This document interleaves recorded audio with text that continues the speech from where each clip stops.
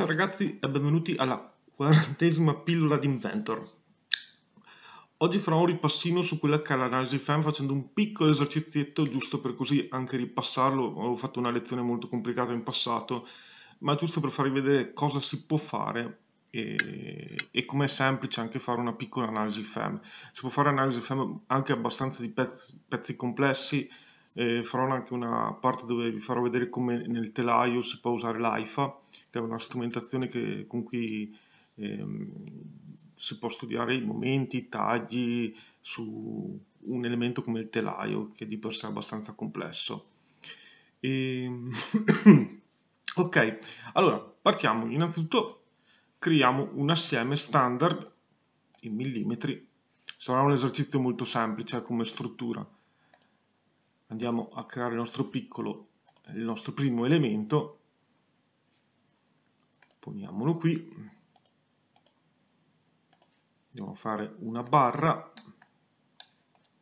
scusate ho sempre, facciamo da 50, una barra da 50 mm, e qua passiamo a 200 mm, 50 mm. Ok, andiamo un attimo in gestione, strumenti, cambiamo qua le unità di misura e mettiamo i millimetri che ci piacciono molto di più, ecco qua, estrudiamolo, Vabbè, facciamo una barra da 10 cm, mettiamo gli spigoli, così è un po' più semplice, ed ecco qua il nostro primo pezzo, mm, direi che è un po' corto, andiamo, siamo almeno da 400 dai ok. Usciamo da questa parte e creiamo la seconda parte. Applichiamola a caso. Anche qua se faccio schizzo vedete che viene un asse lì. Vabbè adesso non stiamo ad essere troppo perfetti. Semplicemente creiamo un piano in asse. Lo vedete perfettamente in asse e andiamo a fare uno schizzo mi proietto un paio di cose del pezzo precedente e quindi vado a farmi.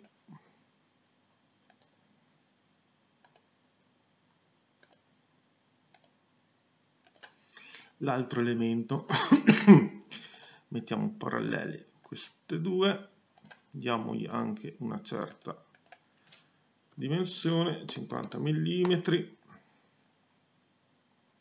diamogli un angolo tipicamente di 45 gradi. Infine dobbiamo dare questa distanza. Vediamo di 100 mm vediamo cosa salta fuori. Ah ecco chiaramente non aveva preso il vincolo dell'allineamento quindi andiamo a rafforzare questo allineamento. Torniamo qua e facciamo 200 mm estrudiamo anche qua e facciamo la nostra barra bar ma sì, possiamo sempre tenere i 10 mm classici. Usciamo dal nostro stem ed ecco qua. La nostra piccola trave con, piccola, con un piccolo supporto. La travola sbalzo con una trave a sbalzo con un supporto sotto. Adesso andiamo negli ambienti e premiamo, premiamo su analisi sollecitazione. Ci troviamo con questa interfaccia qua molto semplice, dobbiamo innanzitutto creare uno studio. Noi faremo una banalissima analisi statica, adesso non andiamo a vedere tutto quello che ci permette di fare Inventor, facciamo semplicemente un'analisi statica, quindi qua possiamo premere ok, e qua seguiamo un po' da sinistra a destra quello che ci viene dato. Allora, lasciamo stare la tabella parametrica, con la quale si potrebbe studiare e ehm, variare alcune dimensioni apposta per avere determinati sforzi applicati, determinate deformazioni.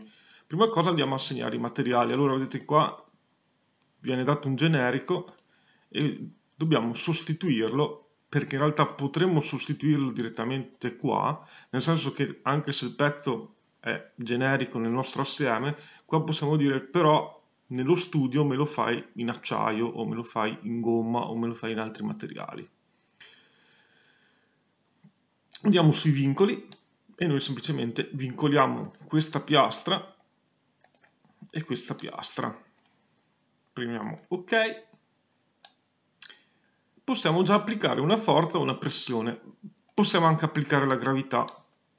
Allora la gravità semplicemente gli diamo una direzione del verso, chiaramente è indifferente dov'è la gravità, non è che è strettamente legata in quel punto. Andiamo a invertirla ed eccola qua applicata. L'ho messa solo per farvi vedere che volendo potremmo anche fare casistiche diverse. Potremmo fare questa diviso 2 e metterle qua un'altra componente dandogli una direzione che più ci aggrada qualora la gravità non fosse esattamente lungo l'asse y. Ma come sappiamo tendenzialmente la gravità non viene considerata in questi casi perché i carichi applicati sono tendenzialmente maggiori eh, della gravità stessa, quindi per adesso eliminiamola.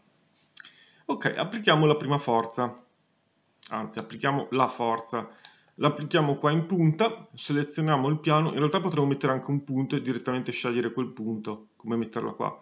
Scegliamo, scusate, questo asse qua, di, di suo va già ad applicarsi in centro, Qua andremo a sfruttare questa volta le componenti e dicevamo in questo punto che voglio 1000 newton.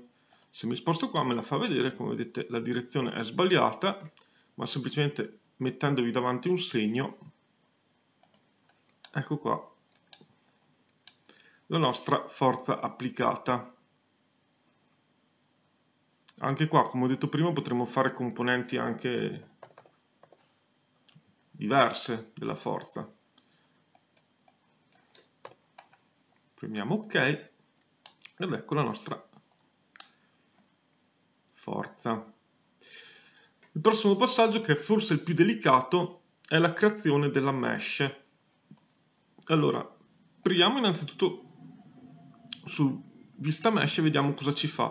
Beh, chiaramente in un pezzo così piccolo una mesh così grande ha poco senso, quindi la dovremo cambiare non è sempre vero perché comunque sono 300, sono 700, come vedete qua sono 700 nodi, quindi non sono pochissimi, ma se il vostro PC è abbastanza prestante ce la può fare.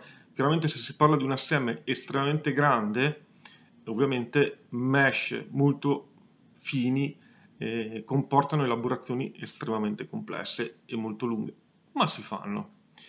Qua possiamo cambiare in realtà la dimensione media dell'elemento, andiamo a farla ben più piccola, premiamo ok Attenzione che qua compare il fulmine e che vuol dire che dobbiamo aggiornare la mesh.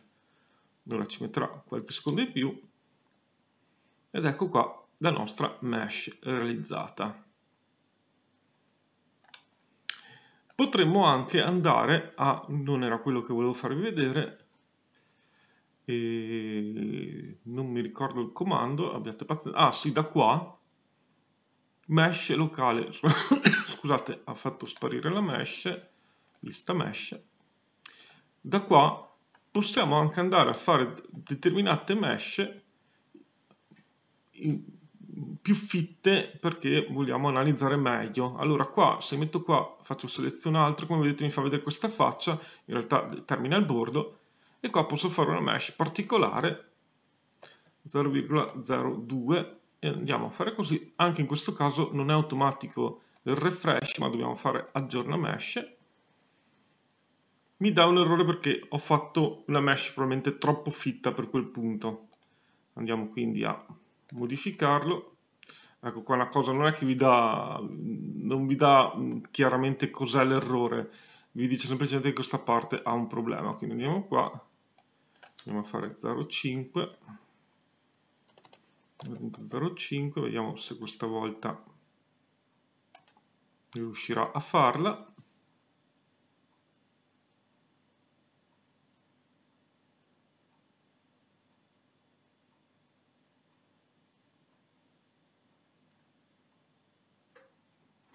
aspettiamo qualche istante.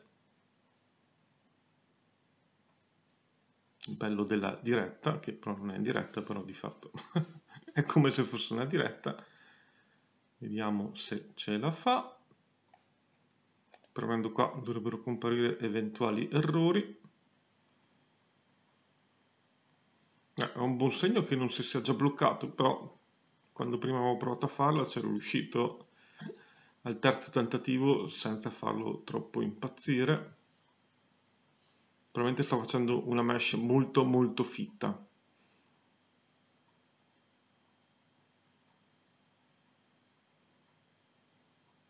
No, direi che ci sta mettendo troppo, allora annulliamo, annulliamo la generazione della mesh Vabbè, forse a quel punto potevo anche lasciarla andare. Vediamo se riesco a riprendere il controllo di Inventor. Non sembra dare segni di vita. Ok, va bene. Vediamo, torniamo qua. Ne mettiamo 0. Vediamo se adesso è un po' più gagliarda la generazione della mesh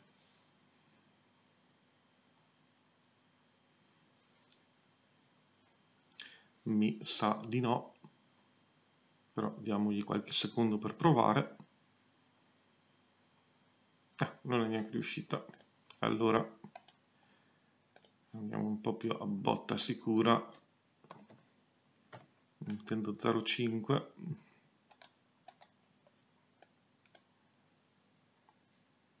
vediamo se sto giro. Ce la facciamo. Ecco qua quindi diciamo che è andato a elaborare una mesh un po' più fitta per questa superficie di contatto Vabbè, curiosità, qua potete disattivare i vincoli e le forze nella vista e semplicemente dopo basta premere simula. Entriamo questa interfaccia questa finestra, premiamo esegui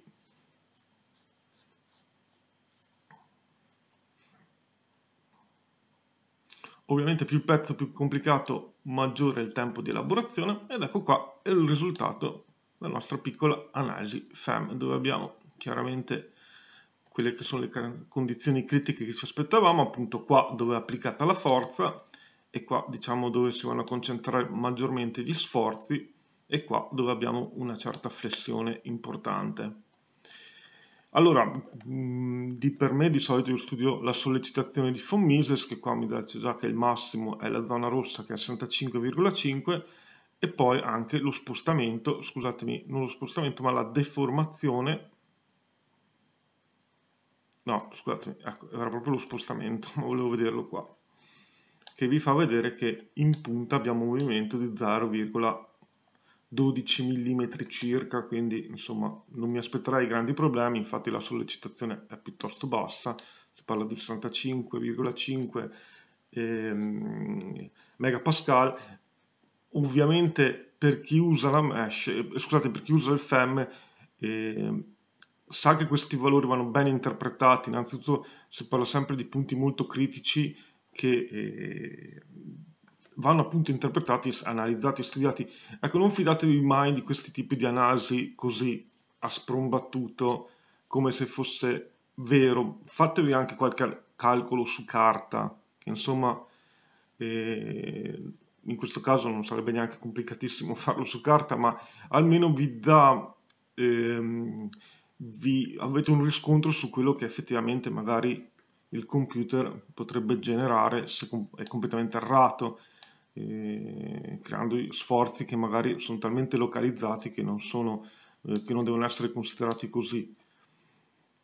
Mm, cos'altro posso dirvi? Vabbè, mm, ovviamente qua possiamo anche andare a vedere il punto di maggior sforzo oppure se vado sullo spostamento di maggior spostamento che ovviamente era questo punto qua sostanzialmente il movimento è questo ovviamente qua è enfatizzato non è assolutamente in scala il movimento. Ma se volessimo mantenere la stessa scala adesso non dovrebbe farlo. Forse è qua. Ah ecco qua reale. Se qua impostate reale ovviamente la deformazione come vedete è oggettivamente piccola. Vediamo se mi lascia prendere la misura. No non me la lascia prendere però fidiamoci di questo valore qua infine poss- vi dà anche la possibilità di generare un rapporto. Mm, io l'ho usato perché magari mm, anche per ricordarmi nel fascicolo del tecnico del, della, della, macchina che ho comunque fatto quelle, quell'analisi FEM a memoria, almeno ce l'ho da qualche parte. Proviamo a vedere cosa viene generato. In realtà lui fa una sfilza di immagini che si possono anche scegliere, tra l'altro. Mi sembra che generi... Però facciamolo aprire in Google, vediamo cosa salta fuori. Ecco, vabbè, l'ha generata... ha generato un file, un documento. Dove vi fa vedere un po' storyboard del, della vostra della vostra analisi. Non mi ricordo se alla fine trae anche delle conclusioni, no, semplicemente. Ah, divertente, vi fa anche scegliere non avevo fatto mai la visualizzazione in, eh, in, eh, in, nel browser, di solito l'ho sempre fatta in Word e non mi lasciava mai scegliere.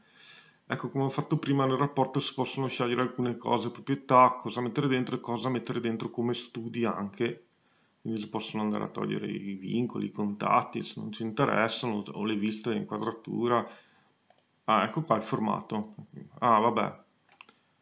l'RFT ti dovrebbe generare un file Word apribile con un file Word gli altri effettivamente sono file HTML vabbè si copia e si incolla dentro un Word mm, ecco come sempre è una pillola non ha assolutamente il significato di essere chissà quanto dettagliato, sappiate che avete questa opzione, eh, potete tranquillamente usarla trovandola appunto tra gli ambienti di Word e sì, gli ambienti di Inventor.